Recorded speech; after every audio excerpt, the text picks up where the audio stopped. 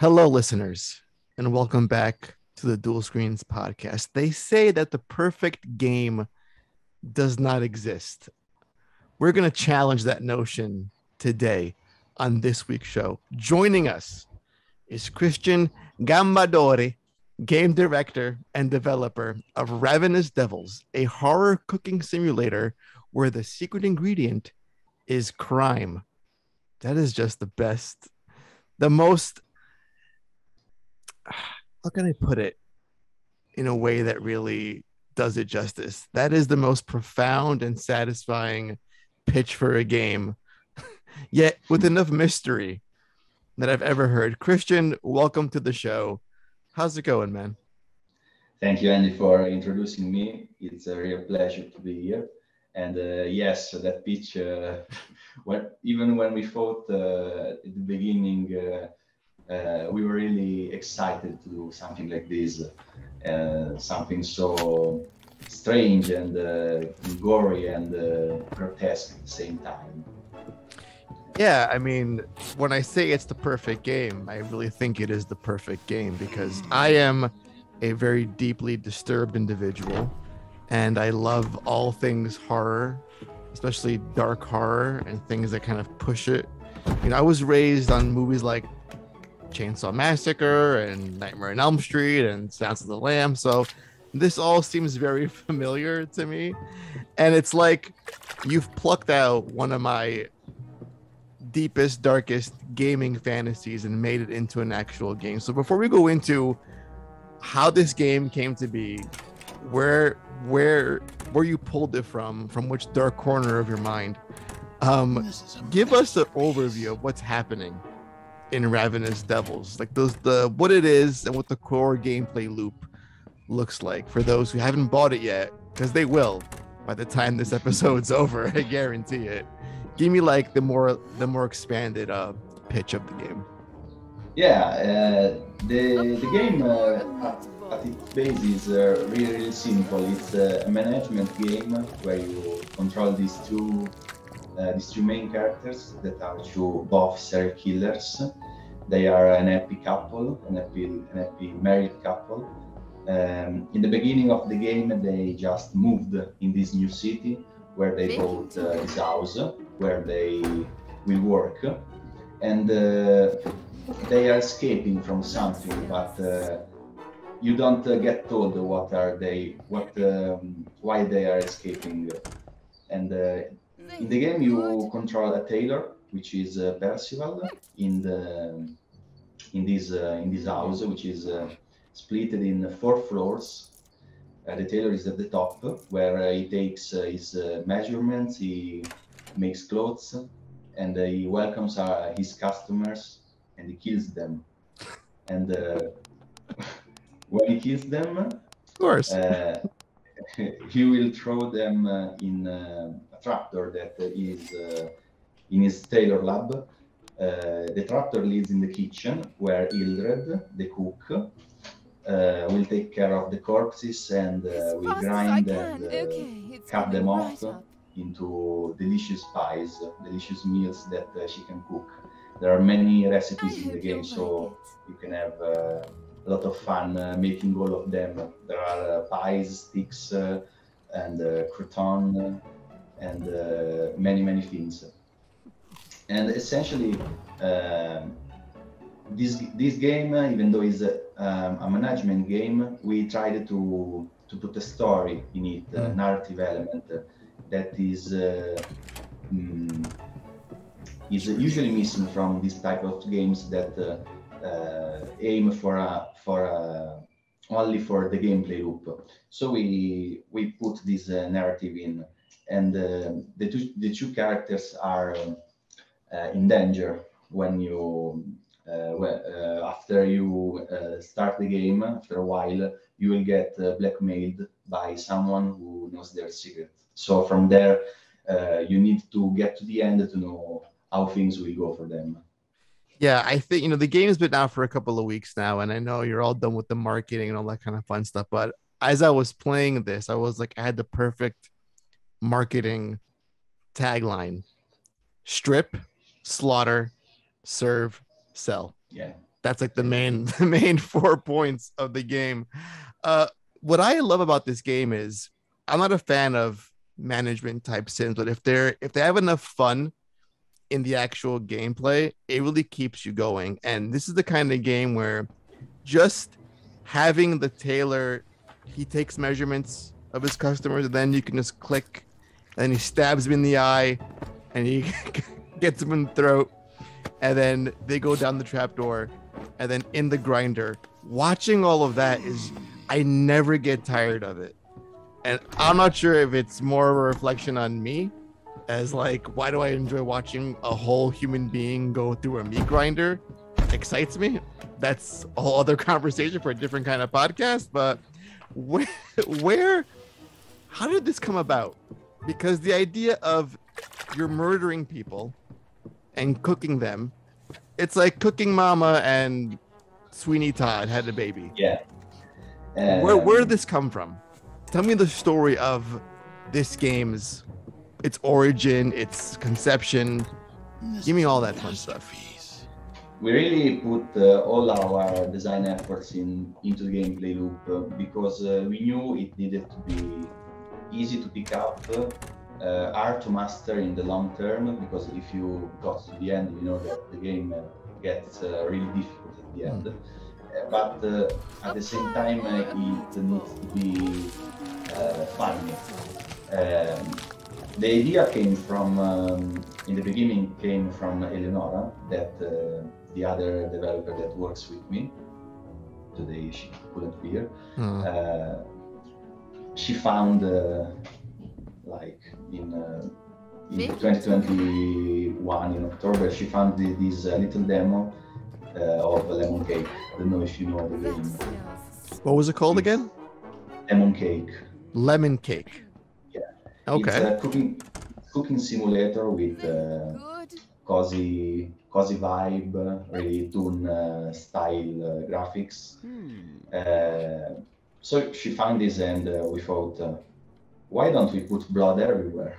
I mean, the game is there. Yeah, we are big fans of um, horror movies and horror scary stories. So we immediately thought of Sweeney Todd that could be the perfect fit for this kind of genre because if you think the, of the movie and the, the story that it, it's behind Sweeney Todd, it's essentially, essentially a cooking game. Mm-hmm. So we put okay, that into a gameplay loop. And uh, that part was really simple. The hardest part was uh, to, like uh, to guide the player in the beginning to understand the, the flow of the game. Mm. Really, really put uh, a lot of effort in the, the initial tutorial and the initial part of the game because if uh, if you lose the player in the beginning, you you lost them forever. Um, so we tried not to uh, make the the first part too difficult, but really not too easy, and at the same time it needed to um, put some curiosity in the player minds to go on and on and on and uh, every day he wants to buy something else some some upgrades the tables uh, the greenhouse another uh, vegetable another ingredient. So you keep going to see how things will change during the gameplay. And uh, i think that um, that part of the upgrade is what really sold the game. Yeah i mean the idea of like you know in the beginning as you're killing your first victims and grinding them and making pies out of their flesh there's little comments like oh this oven's kind of slow but in due time i'll have more money or i can have two ovens or with the selling of the clothes you know you get a better a better tailoring you know um parts and you can get that to go faster when you're when you guys were laying out the actual steps because I would imagine you're saying to yourselves, well, if we owned a shop and we killed people, how would that look like? So, are you imagining, okay, so I have this shop, I'm killing customers, harvesting their flesh, we're baking pies. What does that look like on the floor plan? Like, is that was that the process? Like when you were designing the whole the loop and all the mechanics? Like, how was how was that all laid out? Well, maybe that was our second work. Who can tell? Is this No, a anyway, a confession anyway. and not a video game? Is it your is it uh, a, what you're doing behind the shadows? This is I all a mean, big cover up. Uh, the in I can tell you this in the in, in the begin when we started developing the game, uh, we were going just for the cook to be playable Mm. and not the player. So there wasn't the killing part. There was just the management and cooking part uh, with the pub and the kitchen. But then we thought that um, players would would have loved uh, to kill their, their customers, and uh, we could uh, we could have made that funny. Because if you if you, you play the game, so you saw Mhm. that all the animation are, are really goofy, are um, the characters are really exaggerated in their talkings. Percival talks like Batman. In, in, in, yes, he's I mean- exactly like Batman. Yeah, it's it's it's a the really thought that comes game, to mind. But at the same time it's really funny. It's like um, Baking. Tim Burton uh, style, Yeah, where mhm. you have a lot of blood, a lot of dark, but uh, it's it's really funny to watch. So we we aimed for that developing the game. Yeah, and it's it's funny how even like these characters, uh, you know, even in the beginning, you spend very little time with them, but you get to know them so well that they're a little they're evil, but they're also greedy because they're talking Yeah. about they want to sell these at the highest price. They're selling the clothes of their victims, which is like, come on, like it's enough. And like, no, we're gonna, we're gonna charge the full price for these bloody up clothes, and it's just, it's really, Really? it, it's over the top where Yeah, we uh, we we focus really much on the, the main theme of the game is the the greed of Mm. uh, the the whole of the whole characters in the game because all the I can. characters in the game are evil right except up. for the boy. Even though during uh, uh, the little boy, even though during one of his uh, like little, encoun- little encounters, uh, Mhm. he starts to become uh, evil because he starts uh, to meet uh, mm, people in the cities in the city that are criminals. So uh, that was this, the serious part of the game where they couldn't really stop. We with the gameplay loop we um, we tried to uh, to uh, make mm, the player needs to feel their greed. They they need uh, they want more and more and more, and they won't stop until the end. yeah, That's man. important. yeah it, it comes through beautifully uh you know this the, this idea you know the concept of ravenous devils it sounds like a lot of fun on paper. Like if someone said hey i have this game where you kill people and sell their body parts and you make pies out of them and, and you have a shop it sounds like a lot of fun. But when you're releasing this game what is that like do you think will this connect with an audience? What was that part like for you guys? Like because i'm you know i'm sure like as you're making it it sounds like this is great. This is going to be awesome. Like this this can't go wrong. Like we're going to find an audience. But how do you how do you audience test for like a very unique concept that's yes it's a cooking sim but there's this dark element that's also heavily in the forefront of the whole experience? Well, we we weren't sure until the demo came out uh, if if the game uh, mm, if players would, would have liked the game because uh, it was something new, it was something different from the usual cooking management uh, games.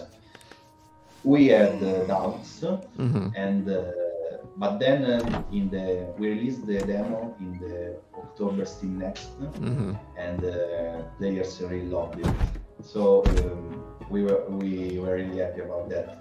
Mm, The um, I think uh, we we fared the most. Uh, what we fared the most was the the balancing of the game Mm. because uh, you certainly played it.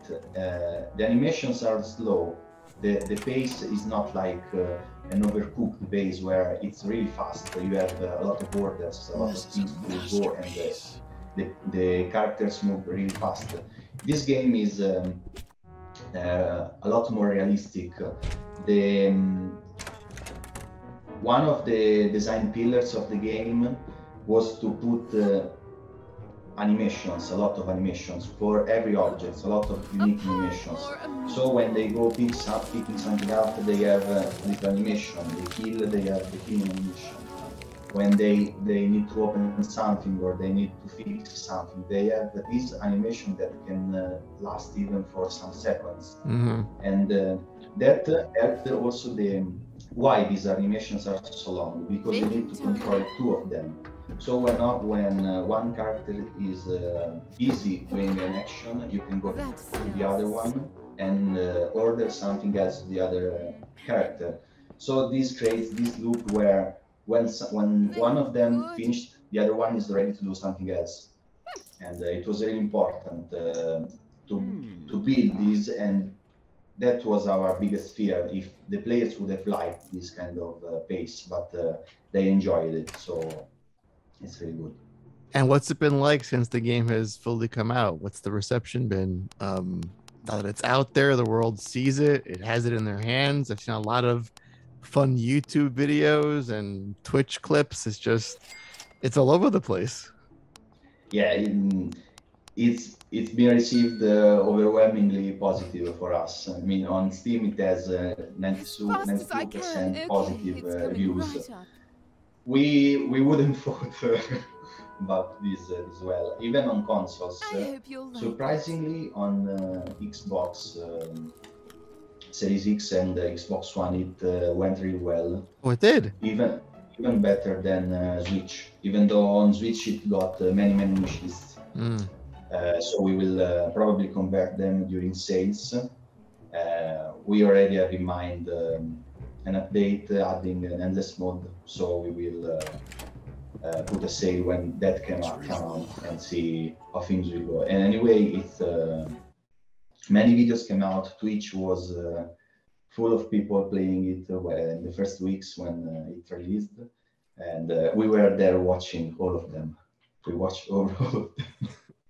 what is that like for you watching someone because like this game is very streamer friendly where it's a very passive game, but it's also very active. And then you're setting actions and letting the players just do them, and you're watching it unfold.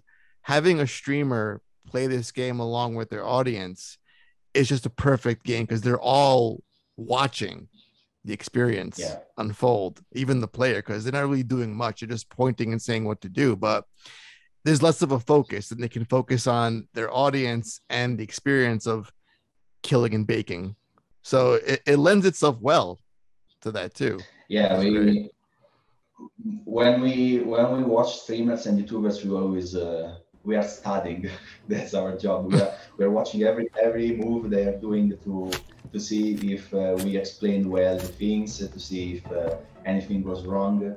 But uh, this game really is, as you say, is it's really streamer friendly because uh, you can talk while playing. I mean, it's not the kind of game that needs a lot of focus in the beginning, at least. So you can uh, you can talk, you can uh, do you can do stuff in the game. Plus, it's uh, it's really cheap for uh, for its price. So yeah. I think that many many YouTubers and streamers, even uh, little ones, got got the game because it was uh, really cheap. So we we made a walkthrough for a couple of dollars, and that was perfect for them. That's uh, that's really important. We thought really well about the, the price point of the game because uh, we couldn't price the game more than five dollars. I mean, it's. Uh, I think you could have, but we'll get into that in a minute. yes, we, we could, but um, maybe some players would have uh, not not liked it because uh, it's not that long. Mm-hmm. I think that um, in today's gaming uh, scenario, games to be priced high, you need to have uh, high replayability or uh, high. Um, it needs to last a lot. I mean, mm-hmm. 60, 30, 20, 10 hours this game lasts for four hours. In four hours, you complete the story, and then maybe you need to do some uh, side quests or unlock anything else to get all the achievements. That's it. I mean, I think it's really really well priced and a lot of reviews on Steam and even on, on the consoles talks talk about the, the price point of the game. They they really appreciated mm. that it was this low. So I think we made the, the right decision. Yeah, because you know when I first saw this game and I saw the price point, I was a little, I was shocked because a game that has this much polish and this much activity and depth of character and and mechanics i was like what's the catch? Is it like a tech demo? Is it like over in five minutes and then that's it? And you've stolen my five dollars? Um but you know for as for as little as it lasts for okay, again four to six hours you know for your typical player you get a lot of value out of that five dollars which i think most games who have a similar experience in terms of the length will charge double that, even like fourteen dollars. So you've really done something amazing here. You have a very polished, well put together, fun, dark humor game that's less than what I would say coffee, but if you're in the states, less than what gas costs. So, you know, it's uh, good for you. And I feel, and then again, that is gonna feed into your player base and get more buyers. It's, it's like I was telling my friends, it costs nothing. Like yeah. play it, and if you don't like it, what have you really lost? Five dollars? I, I will buy it for you, just so you can play this game. Yeah, that's. I mean, we had a, a lot of uh, develop, other developers talking with us uh, and saying that uh, we were crazy about the price point because they entered the Steam page, they looked at images, they saw the graphics, the animation, and they told they told us this is like something like a 15 to 20 dollar game right. you can price that that but they didn't know the game in itself so uh, we knew extremely well that um, our play our player base and uh, also we with the demo we we made a, a, form with the demo for players that tried the demo in october last mm. year and uh, many players uh, we asked them how how much would they pay would they pay for this game. They the, the most um, chosen question was ten dollars. Hmm. So I mean, wow, uh, and you guys yeah. went half. Like people yeah. who liked your game we, and played your game said, "I'd pay ten dollars." You would say, "Okay." Yeah. At that time, I mean, we we uh, we didn't put that question into hmm to change our uh, price because we already knew that we would have priced the game five dollars. Hmm. Uh, we we just wanted to see uh, what's the the the, um, the, the value that the players are right. What people think this game is worth when they're playing yeah, exactly. Right. Because uh, that's really that's really important. When when uh, we saw this, we thought. Uh, well, people really like this game, really, are really enjoying it. So we we need to go this way. If the price was something else, if they the reception was different during the demo, we would have changed something. But uh, that was okay, so we we made the right decision there. Mm. How how fun is it putting this game on the Nintendo Switch? The Switch, which I feel, I mean, the Switch, it's come a long way. Nintendo has really evolved in terms of getting more mature titles like you know Gal Guns on there and Mortal Kombat. So they're no stranger to to sex and violence, but still seeing a game that has you murdering people and baking pies out of their out of their flesh, there is some satisfaction playing that on the Nintendo system. What yeah, did you say? we, we need the we needed to censor every trailer and every image, but. Uh, we could have sold the game there, so we went for it. In was the I think the Nintendo Switch version is the best. Mm. I mean, playing really game handheld. Uh, we we have a Switch, so we, we tried it. It was uh, really really fun. Yeah. Plus, it has the touch support. The oh wow! Okay. See, I'm I'm like I have it on PS5 and I just got it for Steam like a few days ago because I'm the Steam Deck is going to be here in a couple of days, so I'm preparing for that. It works uh, there too, and, oh, boy. and players, uh, some players re- reviewed the game that and and and told uh, Uh, the game looks fantastic on As Steam Deck. as I We, can. we Okay, couldn't test it right because up. uh, we- we don't have it yet.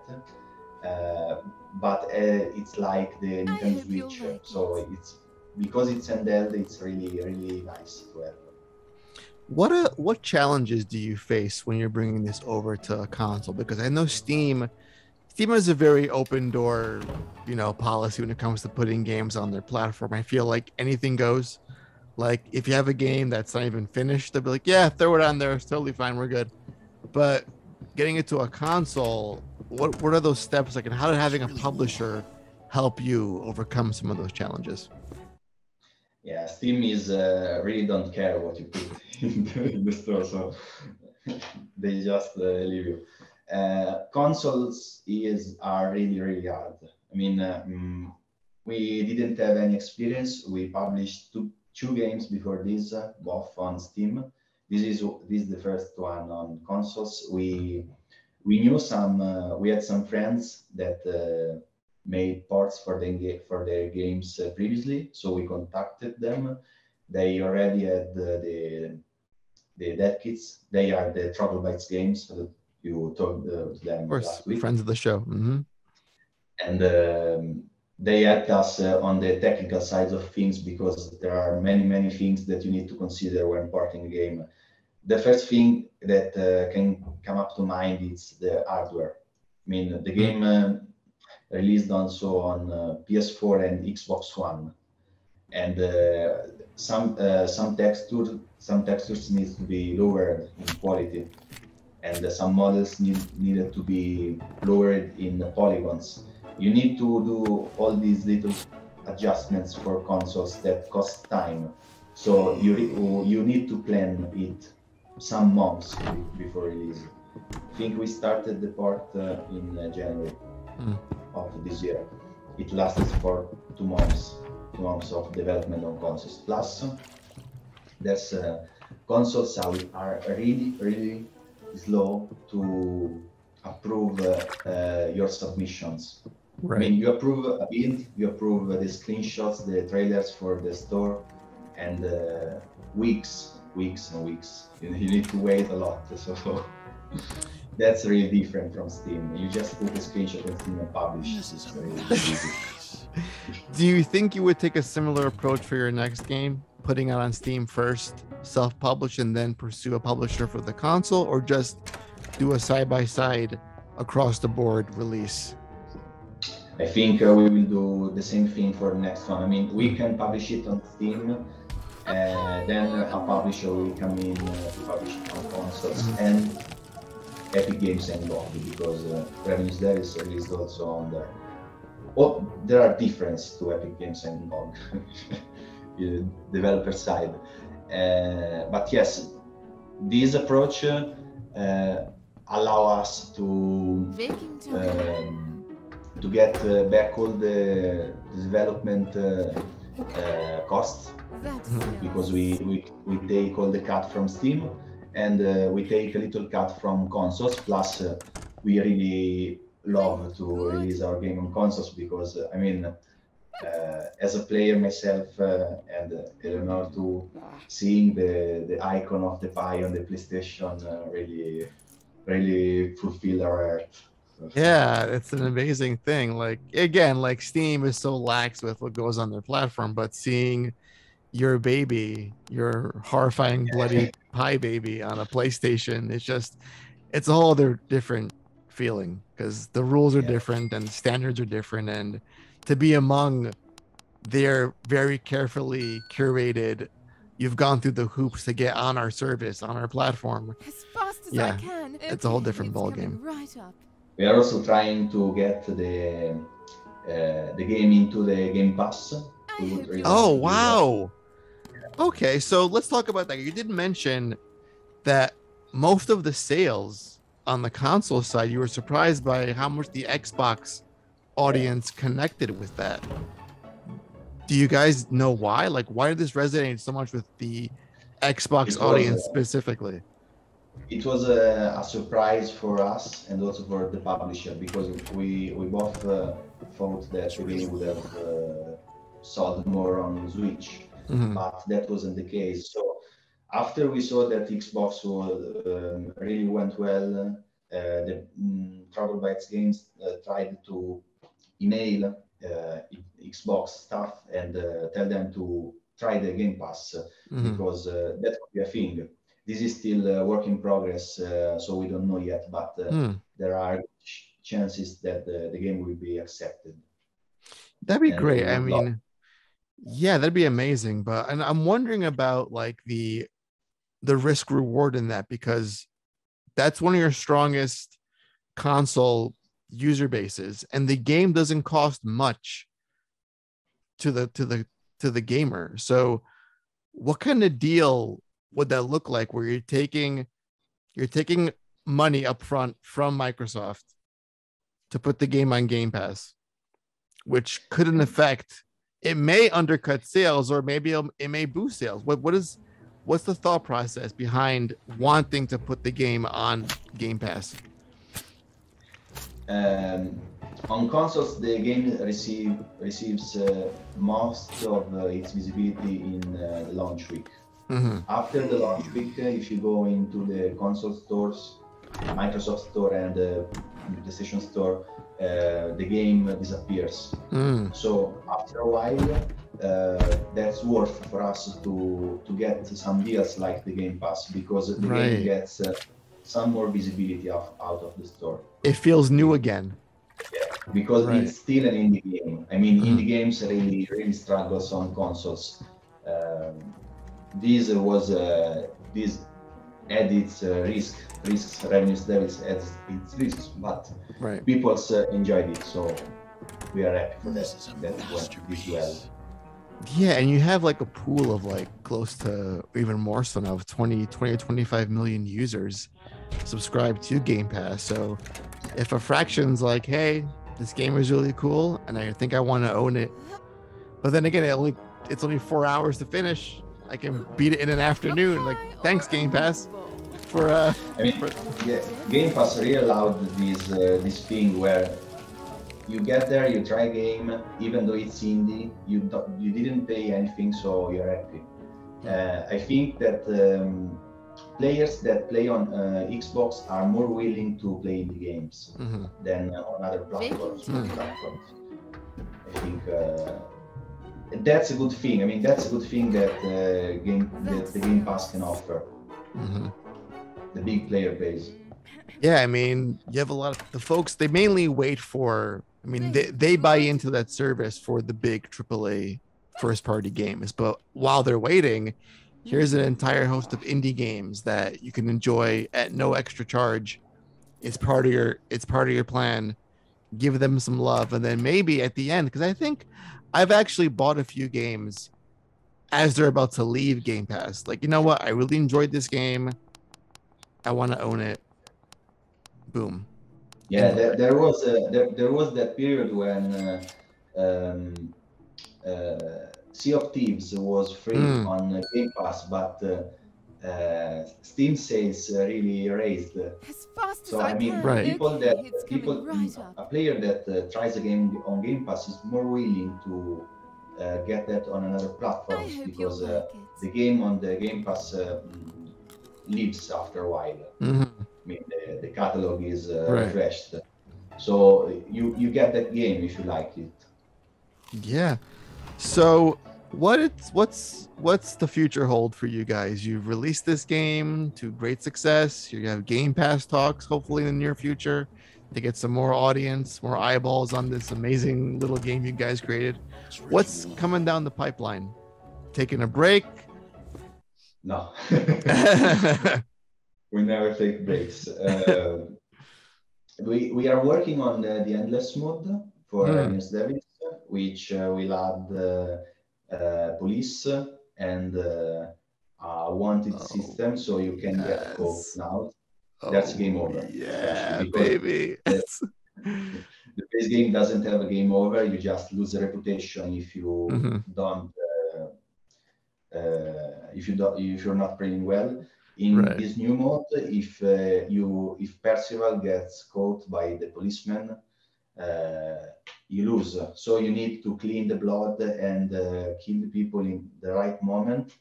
And uh, there are mm, there may be moments where you can't kill people, so Mm. you don't, don't have meat for the kitchen Right. cook. Uh, this new- this new mode, you can cook just vegetables. So you need to have uh, a lot of fertilizer ready if you can the people. So you need to Ah. do this decision in the game. Interesting. So if you Then can't, if you can't, uh huh. After this, we are thinking of a, a new game. It's uh, still everything in the air, but uh, uh, we are really excited to to do something new. Are you gonna stay in the same genre, like a little black comedy horror game, or something totally different with this tone? We we we will stay in the in the horror themes, but uh, and the the genre will probably be the same. Yeah, same management and uh, this kind of stuff. But uh, Okay. we will put our twist because. Uh, uh, you, you said previously that you don't like uh, you don't usually like management games. Yeah, I mean, We listen, if the if the if the loop is fun, like, listen, Yeah. one game that comes to mind is Moonlighter. Moonlighter is a game where it's a Zelda dungeon crawler plus it's a shop management sim where you're putting out all of your treasure, all of your found items, and just selling it, and you're upgrading your shop, hiring staff, getting money to get upgrades, to go fight bigger bosses, to get better loot, to then sell. That's a fun loop for me. It's it's Nico, simming, yeah. it's sim and dungeon crawl. I, I love that combination. you need in a measure in a I I totally respect your your opinion because uh, uh, in a Me- man, Not I many do. that- I think that in a management in a management game you need to put something else, some Mm. spice, some uh, some something you Literally. because uh, Mhm. Because um, management games uh, tend to be repetitive good. Right. very very soon. So you need to put something else in it. Otherwise, uh, it's boring to play. Mhm. Yeah. Um, I'm just thinking about your game, like how these folks are just so greedy. I'm surprised they don't ring up the mop and make blood juice or blood punch, and sell that on the side. along with the pies and the and the clothes. Um so all right, that's listen, this game is it was a lot of fun and I can't wait for this new endless mode that there's cops involved now and a, a game over state. So that sounds very exciting and you know what comes in the future. I think you guys have a nice As as grip on what makes a really fun, addictive sim game.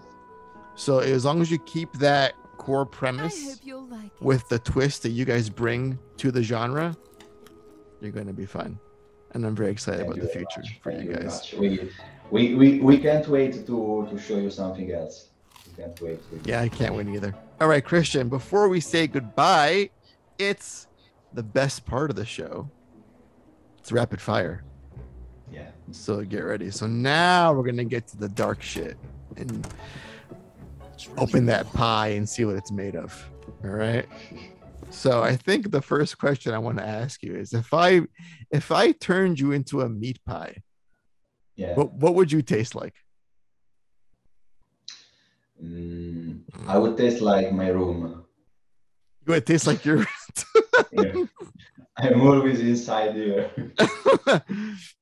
um if I was a meat pie, what do you think I would taste like? like that meat boy you have. Uh, Oh yeah. behind. Very appropriate, by the way. God, you know, I feel like your game teaches people too well how to run a murder meat pie shop. So, That could happen.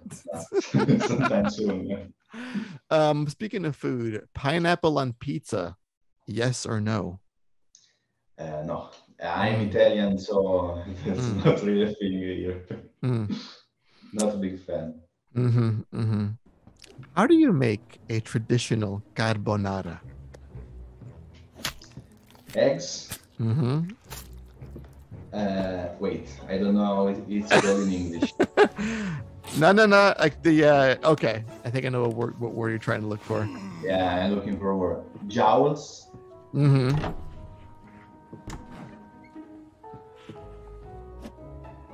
And uh, cheese. That's it. That's That's it. Yeah. Yeah. Uh, I made one the other day, like a, from like a not from scratch, but just like the traditional eggs, cheese, um, not bacon, but like you know, and uh, just pasta and water from the pasta water. It came You out. can uh, uh, instead of jals, you can put bacon, but Yeah. uh, I think jals is uh, the more is traditional. Yeah. hmm This is a masterpiece. Would you rather have the power of flight or invisibility? light Mm. because I don't have a car. Where would you go first? Uh, I live uh, really distant from my girlfriend, so Mm. that would be the first place. Yeah, I think I'd fly away from my partner sometimes. like, bye. um, if your girlfriend got a phone call that you were arrested, what crime did you commit? Hmm, Baking time. that's tough. hmm It's like, what crimes have you already committed? I, mean, I, I- I got some some uh, car crashes Very before that. Oh man. That wouldn't be to prison. Um, I don't know. I'm not a violent person, even though I make, Okay. I make violent games. Uh, you know I that that. I, I think that's the best part. I feel like most of us who aren't, you know, don't have anger issues or a, a tendency towards violence, we have a really sick part of our brain that we don't access often because we're not out there actually hurting people. So we yeah. we we put that into like you know into the, the creative aspect. So that's that's good. It's more benefit to us.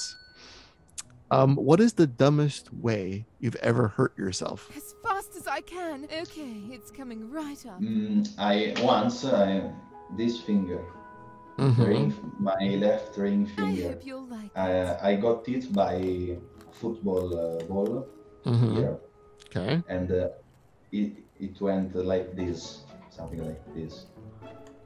For uh, it it was really stupid because the ball was coming and uh, it And went like, oh my god. the ball uh, thi- this way, and uh, yeah, that wasn't painful, but uh, it was re- really really stupid. And as of today, is the, the finger is, is still not straight at all. Okay.